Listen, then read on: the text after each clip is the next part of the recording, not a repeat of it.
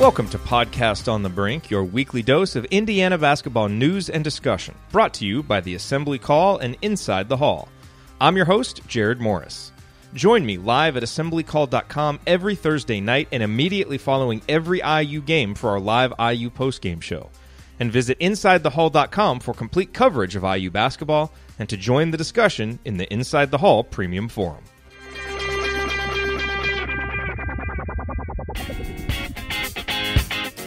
On this week's edition of Podcast on the Brink, Alex Bozich and I are joined by John Gasaway from ESPN, one of the most insightful college basketball writers out there. And we brought John on to talk about his impressions of the Hoosiers so far this season. Uh, as he mentions, uh, he was early on the uh, Juwan Morgan bandwagon, so we talk about Juwan. We talk about Indiana's ability to win close games and how sustainable that is. And we also look ahead to Indiana's upcoming matchup against Illinois. John is an Illinois fan when he doesn't have his ESPN hat on. Uh, Illinois is the team that he roots for. Obviously, it's bit of a tough time to be an Illinois fan right now, and so we talk with John about that, about you know why it's taken a little while for the Brad Underwood uh, regime to really take hold and start to show success there, uh, and why this game coming up on Thursday may be a little bit trickier than you would think uh, at an initial glance. And we talk a little bit about the Big Ten too. Always a wide ranging interesting, uh, compelling conversation when John is here. So that is what is on tap for you this week. Before we get to that conversation, I want to talk real quick about tickets because, as you know, getting tickets online can be too complicated. There are hundreds of sites, varying levels of reliability, and that makes it hard to know who to trust. But that's why SeatGeek is the place to go because SeatGeek pulls millions of tickets into one place, which allows you to easily find the seats you want for a price you're willing to pay. There's nothing like being there in person, and SeatGeek will get you closer to the action for a great value. There are tickets there for the Illinois game if you want to make the last second decision to get to Simon Skjodt Assembly Hall to watch the Hoosiers as they resume Big Ten play. Obviously, 17 games after that, many of them at home, others in Big Ten road venues, wherever you are. If you want to get a ticket to see Indiana play, go to SeatGeek because they will take good care of you. And SeatGeek is designed to make the ticket buying experience easier than ever by searching multiple ticket sites and grading every ticket based on value. So that helps you immediately identify the best seats that fit your budget. And every purchase is fully guaranteed, so you can shop for tickets on SeatGeek with confidence. This is why I have the SeatGeek app on my phone. It's why I use SeatGeek when I'm looking for sports tickets, concert tickets, whatever it may be. That's why I go to SeatGeek and why I recommend them to you as well. And best of all, listeners to Podcast on the Brink get $10 off your first SeatGeek purchase. All you need to do is download the SeatGeek app and enter the promo code BRINK today, B R I N K, for $10 off your first SeatGeek purchase. SeatGeek, life's an event. We have the tickets. And now here's our conversation with John Gasaway. John, welcome back to Podcast on the Brink. Uh, thanks for having me. It's it's good to be here. It is. It is. So uh, obviously, we want to. We love bringing you on and talking about a number of topics, both IU specific and Big Ten and even national. So let's start small. Let's talk about the Hoosiers. Uh, what are your what, what, are your impressions so far of Indiana? What do you make to the start of their season? Nothing small about that ever. Big. Uh, big vistas and big potential. Uh, they, you know, they they've got to get healthy. Is my is yeah. my advanced analytic take. they've got to stop stepping in front of uh, injury mishaps and uh, get get whole and hale and hearty and and other uh, rhyming consonants. But uh, you know, if I told you before the season started that you know you'd be looking at 11 and 2, one wipeout against Duke, notwithstanding, and, and one point away from being 12 and 1. Uh, I think most Hoosier fans would have taken that. I would take that if I were a Hoosier fan. And uh, I would say, uh, steady as she goes, and everything that John Gasaway and others wrote in the preseason about, hey, look out for this Romeo Langford, Juwan Morgan uh, combo has, has come to fruition more or less. So, uh, you know, times are good. We've got two Big Ten games uh, under the belt and about to start conference uh, play for real. So the questions will get answered now with, with lightning speed. But uh, I'm not sure there have been, you know, with the huge asterisk of, of health notwithstanding, I'm not, I'm not sure there have been a, too many uh, surprises, good or bad, to this to this point in the season for IU. How do you judge a team like Indiana that has won a lot of close games? Like, do you look at that as a team that is quote teetering, as one national college hoops writer said, or do you view the ability to win close games as a strength that can endure as the season moves forward, as opposed to just hey, you know, you got lucky by the bounce of a ball here and happened to win that game? Um, you know, n- most college teams are not Duke, and we do not have the luxury. Or on the other end, uh, there are some teams that would love to play close games, but but lose them all.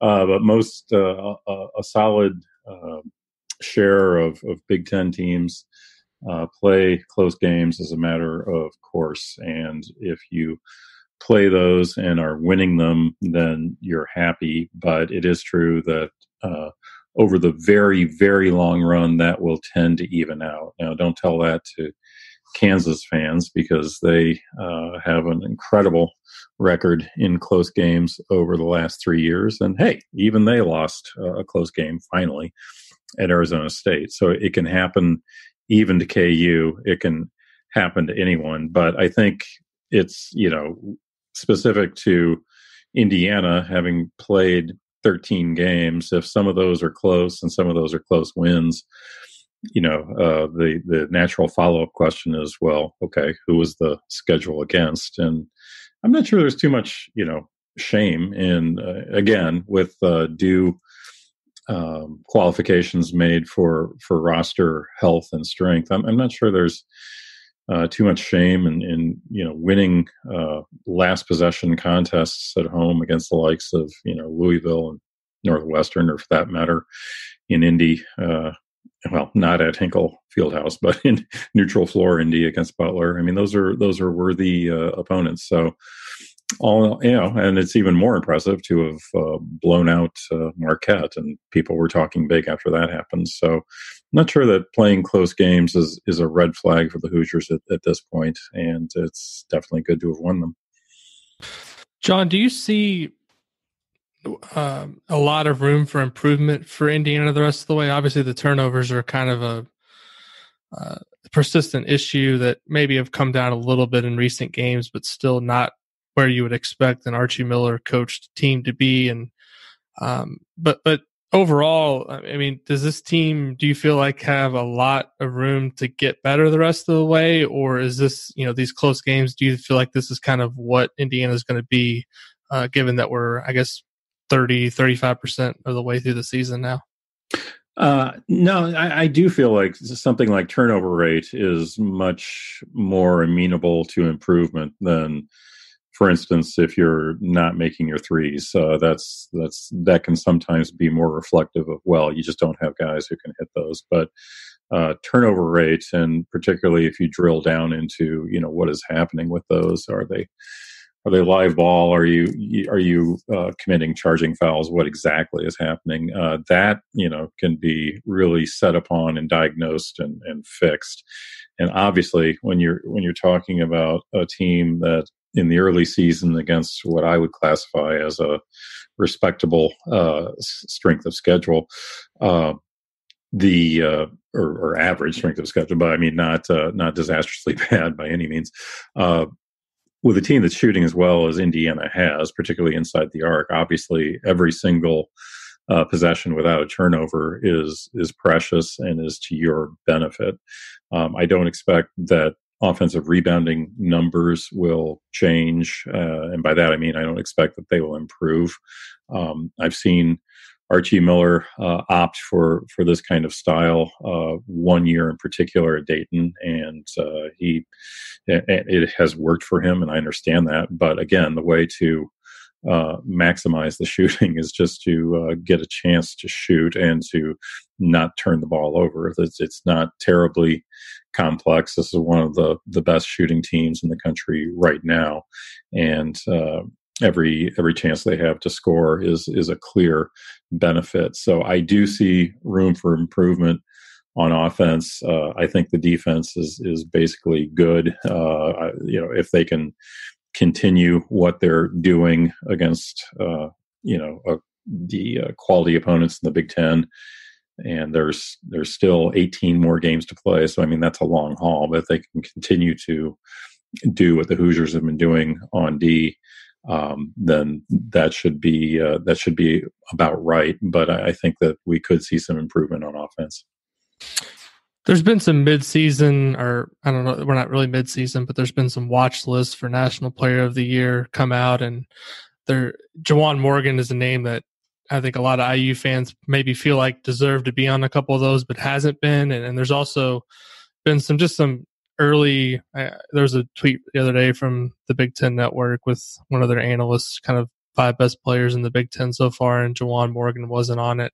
I'm just kind of curious from your perspective uh, I, I, think we can probably agree that Carson Edwards and Ethan Happ have kind of been the two best players, at least statistically, right now um, in the Big Ten. But kind of where does where's Juwan Morgan fit in right now in your hierarchy of Big Ten players? Well, I got in on the ground floor of Juwan Morgan. I I'm not going to um, be so self-reverential as to scroll through my old tweets here, but I had something out there a while back comparing his numbers uh, very favorably to Zion Williamson's, and with all due caveats, obviously he's not the the uh, the beast of offensive rebounding and, and foul drawing that Williamson is, and obviously he's got a very different date of birth, and as as a result, the NBA is rightly much more interested in one guy than the other. But purely in terms of uh, college performance right now, and more specifically, purely in terms of uh, converting your twos and carrying your load on offense. Uh, Morgan is outstanding. Um, I, I, floated an idea at ESPN.com about a month ago that this is a golden age of two point shooters. Uh, Williamson was the poster boy for that article, go figure. But uh, Morgan was name checked and with good reason. Uh, I feel like the with all of the space that the increasing number of three point attempts is creating in the game as a whole. It's creating uh, great opportunities for guys on the inside, and Morgan is seizing on that moment uh, just as well as anybody in the country, and uh, of course, knocking down an occasional three as well. So uh, I expect to see him start popping up on those kinds of watch lists. And I feel like there's uh, an incre- and rightfully, I feel like perhaps there's an, an increasing uh, Ken Pomeroy effect in these discussions, and that you need to have a little number uh, next to your name uh, for KenPom Player of the Year. And Morgan does not have that. Uh, you know, Ken's uh, algorithm prefers guys who uh, have a little higher workload than what Morgan has playing next to Langford. And I get that and I understand that. And I, I actually uh, generically agree with that uh, value judgment. But uh, Morgan is is pressing that envelope to an extreme, and even though he's you know just air quotes here down around uh, twenty four percent of possessions used, I mean my gosh, when you're hitting uh, you know better than 75% of your twos. I think it's time to uh, show a little love to the to the seniors. So i've, I've been very impressed with what morgan's doing. And it's still early january. We still have uh, a layover effect of what the preseason expectations uh, were I remember, I think, you know, a few years ago in February, I was having to ask, "Where is Karl-Anthony Towns on lists like this?" Nobody could, uh, nobody could pick him out among all of the Kentucky stars. So things do change eventually. Sometimes it's a little slower than it needs to be, but if Morgan keeps playing like this, it, will it will definitely take care of itself.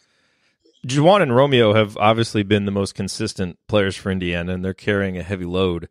Is there anybody else on the roster who stands out to you as someone who needs to you know kind of step up and be more consistent uh, to to to help those guys out as Indiana looks to compete in the Big Ten? Um, you know that that's a that's a loaded question because I feel like Indiana has done pretty well with a Big Two, and you know having a Big Two that's two more than some Big Ten teams that I could name that maybe we'll even be discussing a little later on uh, can number. So you know you can see this glass is half full and obviously if if other people you know join this party uh the you know more the merrier but uh whether it's it's timely threes from from Fitzner or you know uh, a stepped up uh, you know workload from from De'Ron Davis or uh, whatever you might have, you know that that's great. But I think that uh, getting back to the have we seen what we're going to see now that the the season is about 35% spent i think this is one area where we kind of have um, you know workloads uh, on offense tend to sort themselves out pretty darn early uh, in a college season, and then they they stay kind of stable. So um, that's not to say that you're not. Of course, you're going to get a spectacular game from you know somebody that you didn't at all expect. That happens all the time. But in terms of continuing consistent contributions, um, I think this is a, a, a, Langford Morgan kind of offense, and it, it's likely to stay that way. And again, that's uh, that's a good thing. And if they uh, shave some turnovers uh, as well, then it's it's a very very good thing.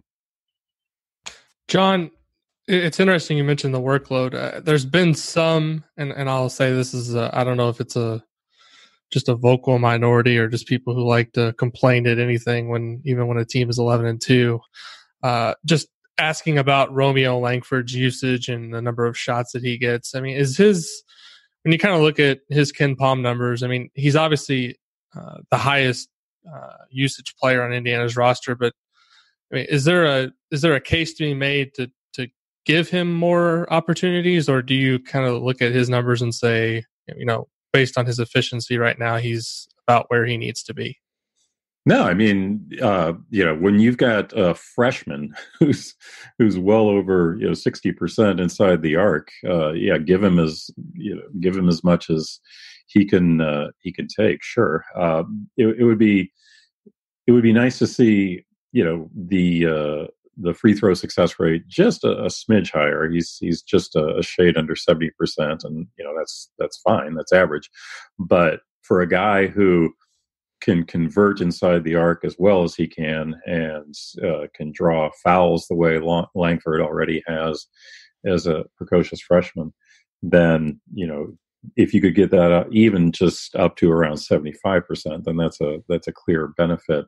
So the, there's potential for added workload, as you said. It's at twenty six percent now. That's that's nice and normal for a featured scorer. It's it's not uh, it's not outrageous by any means. And uh, in line with the previous question, you, you uh, Archie Miller or any coach is looking at these uh, questions in terms of available alternatives. And when you've got a one and done track freshman who is uh, converting inside the arc at the rate that Langford is, when you've got a guy who's got an offensive rating that's uh, in effect 110 despite the fact that you know he can't make threes or has not made threes, I should say more accurately so far. Um, that is a a strong marker of somebody who's got potential. So uh, we might uh, we might see an, an, added workload for for Langford in in the near future, and there's nothing we're seeing so far that. Uh, that warns us off that and says, "Wait, wait, that's not going to work." On, on, the contrary, I mean, every you know, from his from his age to his production to uh, you know the the opponents that Indiana has played. Everything is is saying, yeah, that uh, that could work. Uh, try it and see. Hey, I'm going to jump in here real quick. We're about to get John's thoughts on the IU Illinois game coming up. But before we do that, I want to let you know that this episode of Podcast on the Brink is brought to you by our friends at Homefield. And at homefieldapparel.com, you will find the comfiest and most unique licensed IU apparel that is available anywhere. Homefield was started by an IU grad, and all Homefield apparel is designed and printed out of Indianapolis. And with the Big Ten season upon us, you should check out Homefield's IU Basketball Champions tee featuring IU's five championship years, a feat that no other Big Ten school has accomplished. And I will continue to stump for the Tri Blend fleece hoodie, which I absolutely love. It's got the old school Bison logo on it. I got so many messages and tweets from people who bought it over Christmas, which is awesome and great to hear. Now you are enjoying just the wonderful, heavenly softness of that incredible sweatshirt on the inside, and then on the outside, you've got the rugged IU Bison logo uh, there. But seriously, it's a great sweatshirt, uh, so certainly consider that when you're there at Homefield. And don't forget to use the promo code BRINK, B R I N K, at checkout because you will get 15% off your first order. And again, the website is homefieldapparel.com. And that promo code, once again, is BRINK, B R I N K. Homefield, wear one for the team. Now back to our conversation with John Gasaway. Well, John, you alluded earlier to a team that we might talk about here in this show that uh, that would love to have two guys or just one like Juwan Morgan or Romeo Langford, and that is the Illinois Fighting Illini, who Indiana will play on Thursday night. I, believe I was I was looking back at the KenPom rankings. I believe this is the first time that since Rutgers joined the Big Ten, that a team other than Rutgers has been the lowest ranked Big Ten team in KenPom's rankings, and that is Illinois right now the, you know, there was a lot of optimism. I feel like when Brad Underwood was was hired, it hasn't really it hasn't really happened a year and a half into his tenure. What's going on with the Illini? Is there a question here? are you just breaking my heart? Um, for anybody just tuning in, uh, I am the uh, longest suffering Illinois fan who regularly occurred uh, appears on on this particular podcast. So uh, I, I, but I'm I'm taking off that hat and putting on my my ESPN hat uh, firmly. What's what's going on is that uh, we're we're in year two of a of a new coaching tenure, and you know sometimes the new coach arrives and everything is more or less in place. Hey, even when Underwood you know arrived at Oklahoma State uh, he he had a couple guys that that he could lean on, and it worked out, you know, great or well enough uh, relative to Stillwater standards. And uh, they they played a rather amazing round of 64 game shootout against Michigan that year that the Wolverines just barely won. So it was on the strength of that that Underwood was hired. Obviously, uh, a much different early tenure in Champaign. Uh, we have seen situations like this uh, work themselves out uh, in the time scale of a coaching tenure. Um, Oklahoma State did have a rather remarkable turnaround two years ago with Underwood, where they started, I, I believe it was 0 and 6. Uh, and then they switched defenses, and, and all was right with the world. And they actually made the NCAA tournament, which is pretty amazing for a team that started conference play 0 and 6. Uh, I'm not waiting up nights waiting for that to happen with Illinois in 2019. So when I say things can work out. I mean, across the time scale of a, to- a coaching tenure, not uh, in in 2019 specifically. Um, Illinois' deficiencies are uh, manifest and easy to point at. I love the fact that uh, a, a, great amount of Illinois uh, fan hair pulling is spent pointing at and berating the defense with the uh, huge caveat oh by the way the offense is even worse so it's like the old joke about bad food in such small portions um, you know you uh, there's there's plenty to point at and uh, this will be changed over time by uh, new players who are better or by current players uh, getting older or better and uh, a combination of both but in the meantime, um, invoking Rutgers in the same sentence as Illinois. What's the line from Lawrence of Arabia? Uh, you tread heavily, but you speak the truth. I, I, think it makes its own point. So that's pretty much what's going on with the uh, with the Fighting Illini in 2019. John, do you have a sense from Illinois fans or people follow the program if there's is there panic? Is there um, kind of what's the what's the tip of of what people are are thinking at this point because it, seems I mean it's one thing to you know the first year they, they I think they won 14 games but this year you know I don't think we're going out on a limb here to say that they they'll be lucky to win 9 or 10 I mean is there kind of what's the temperature of the fan base? Are people kind of becoming apathetic or they is there still some hope that things can get turned around? Yeah, apathy, uh, for better or worse, is not something that Illinois fans are, are long on. They would, I mean, apathy um, is is implies that uh, the losses no longer hurt. Uh, that that is not my experience with uh, Illinois basketball fans. Uh, now, that's uh, Illinois fans reached that point long ago, decades ago, with football. But it's like uh, you know, basketball is this last island that Illinois fans have retreated to, and they're going to they're going to make their stand here. So there's no way they're going to get apathetic about that. Uh, so no, it, it's not apathy, and it's not panic. But um, I will say that we're months away. You know, calendar two, 2019 will be a uh, important year. I'll put, I'll put, it that way because you know this is year two. Um, the players are the players, and and we've seen what they can do. They can improve. They can make some uh, some needed changes. Certainly, a, a, lower turnover rate on offense would be uh, wonderful. An occasional made uh, two is is going to be important for this team going forward. Um, but you're you're looking at a roster here with uh, limited minutes, uh, very limited minutes played by seniors, which means that what we see in year three of Underwood's tenure, um, that will uh, that will be important, and uh, we're we're going to get to that point in the relative uh, blink of an eye.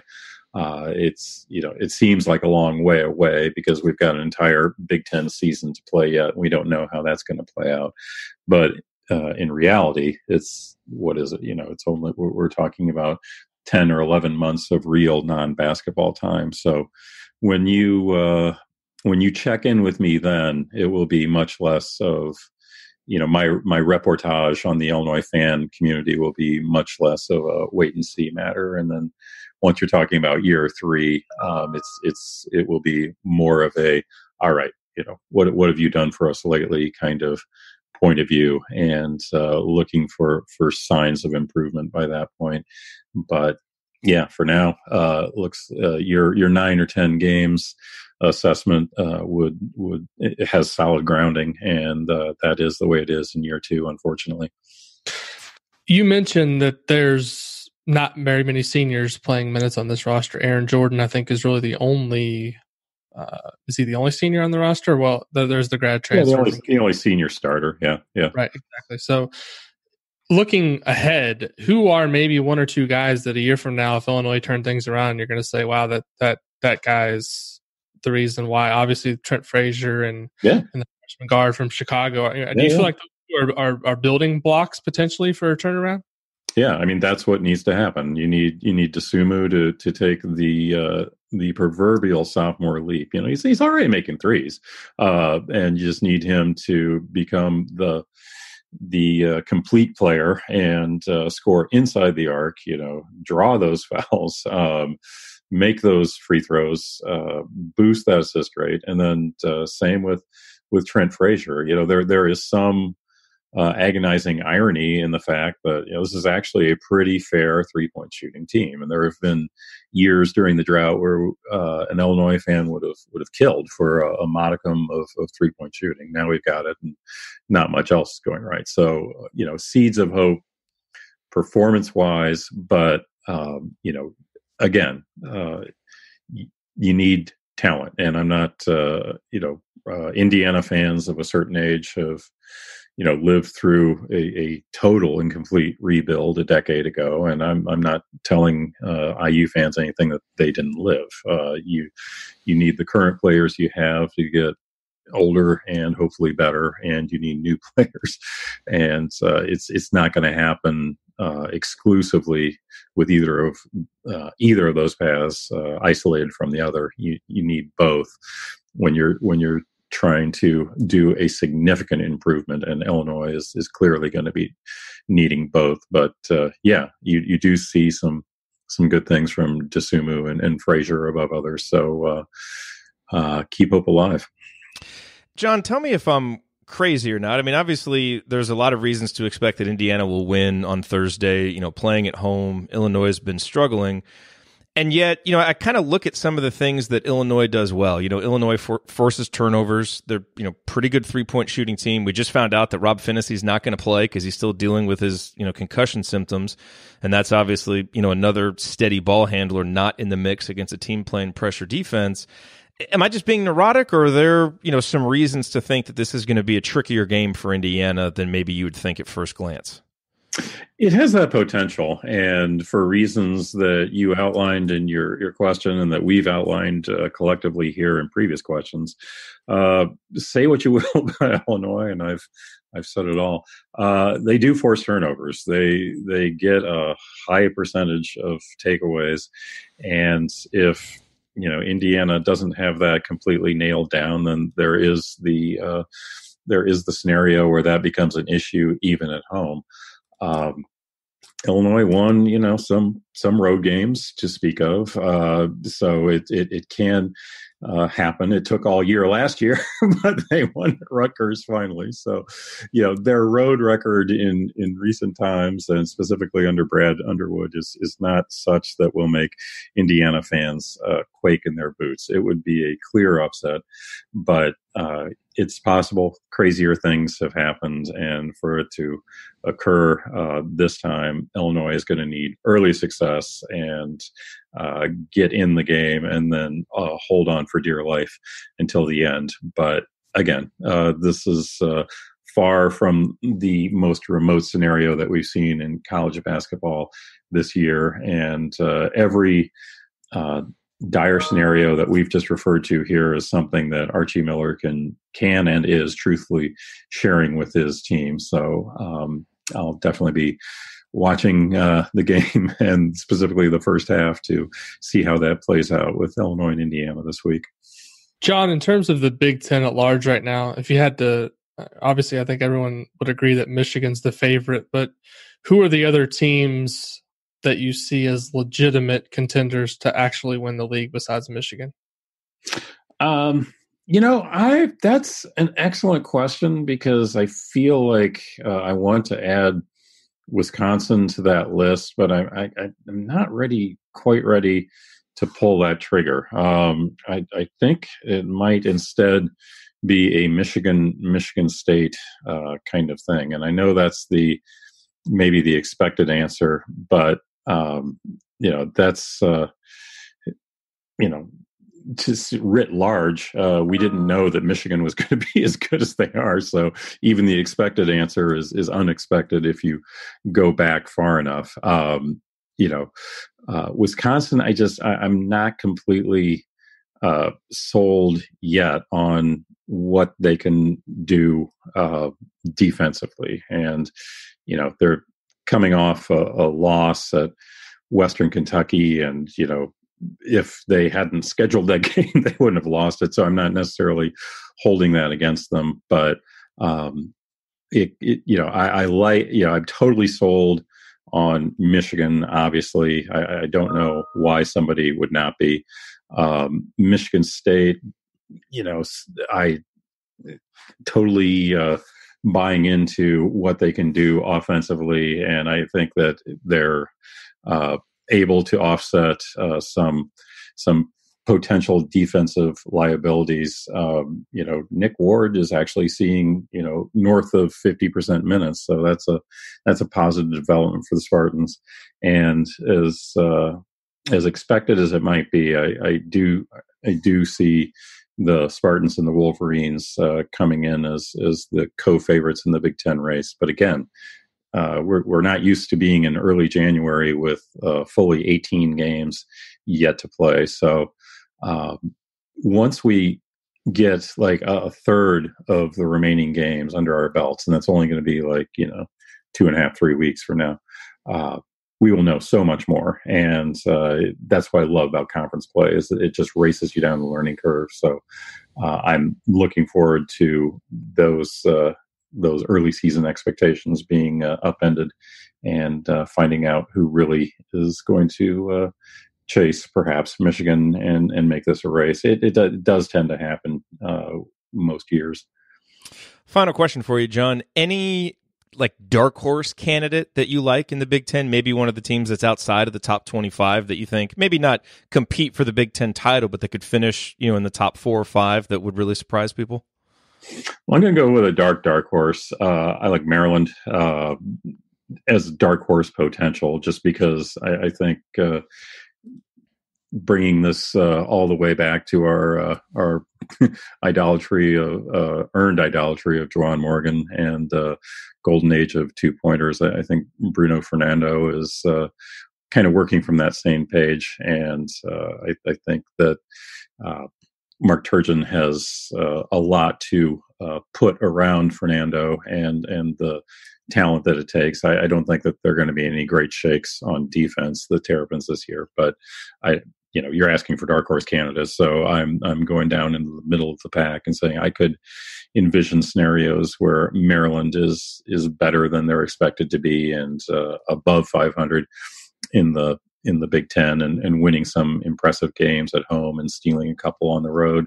Uh, I, you know, it's it's uh, it's standard to say that the Big Ten is good this year. I think the Big Ten is good this year, and it's got some some depth and some strength. And I think Maryland is is kind of the proof of that. Um, they they are a very much middle of the pack Big Ten team, but uh, the kind of uh, outfit that let's not forget.